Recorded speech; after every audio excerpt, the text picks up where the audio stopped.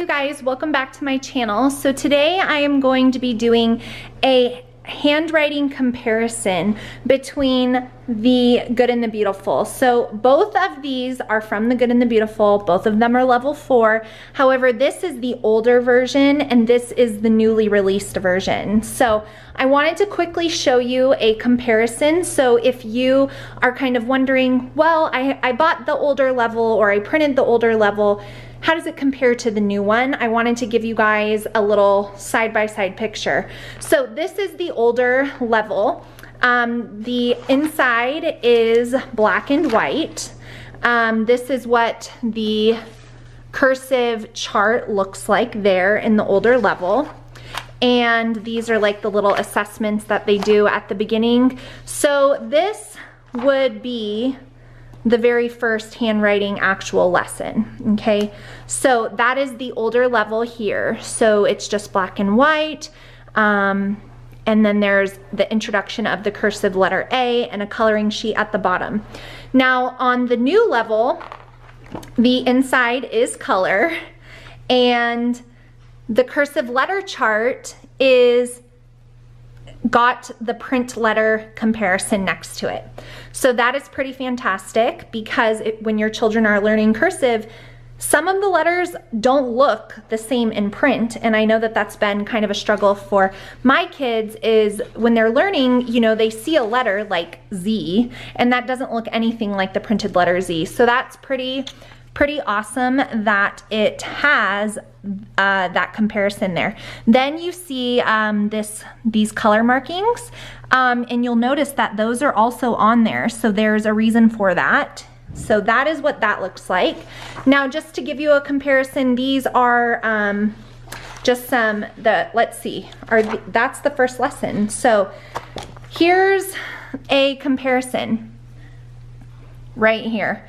So we, it starts with the lowercase uh, vowel alphabet in cursive, and they still have the um, the little coloring parts at the bottom, which are nice, or finishing off the pictures. My kids love doing those.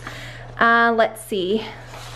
Now, the really, really cool thing right here is the color of this. So follow the dots in order. So it shows you where you start. So it's color coded. So you start on the red, then you go to the orange, then you go to the yellow. That's very helpful when teaching cursive because sometimes they just don't know. So having that on there is, is great. Um, as you can see on the older version, it doesn't have those color codes, but it does have arrows. Now this was this has been working fine for us. We will finish this up, but I just wanted to actually show you guys as well. Um, I like how they have cursive and print on both, so that is kind of similar. They, they always have some printing and some cursive. Let me get on to, let's see here. So this is number, um, well, that's actually past where she's gone. So let's go to number 53. This is the older version. Practice printing name, copy and print, color.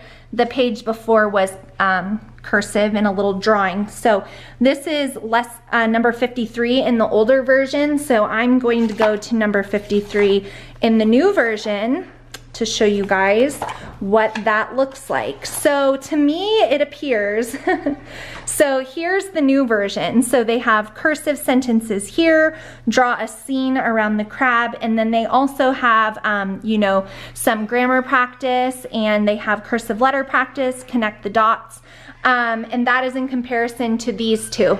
So what it seems like to me is that um, they just completely redid it. They didn't even take what they had and kind of reform it.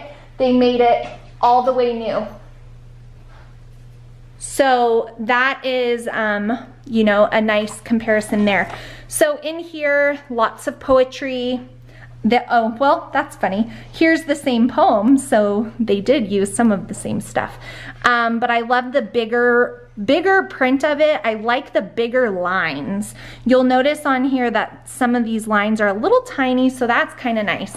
Um, so overall, I really, really love the new version of the handwriting. I think it is a little bit better laid out. I think it's improved in the size of the print. I think the lines are better for um, them to be writing and I am I really like it. I really like that color coding on the cursive. Um, that's gonna really help and I love that everything is just a little larger. It takes up the whole page, so I, I really like that. Um, we will continue on with using our older level because we are like very close to being done with it.